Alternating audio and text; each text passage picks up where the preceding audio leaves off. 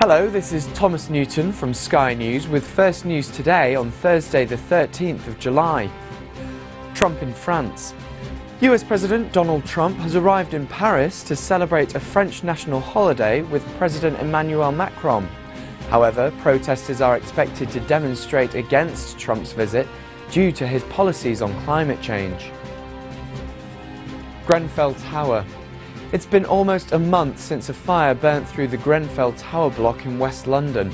Last night, survivors confronted police and politicians at a public meeting. They were voicing their concerns over how the investigation into the fire is progressing. Royal visit. The Spanish royal family is in the UK on a visit to the British royal family. King Felipe of Spain joined Queen Elizabeth last night for a state banquet in Buckingham Palace.